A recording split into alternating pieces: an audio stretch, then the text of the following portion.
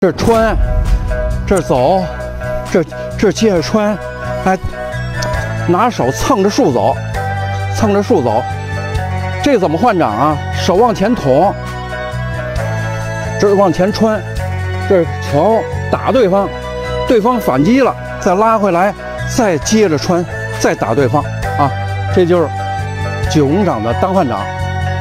那么连续走的时候，根据复眼。和你自己练的感觉，啊，可以多绕几圈。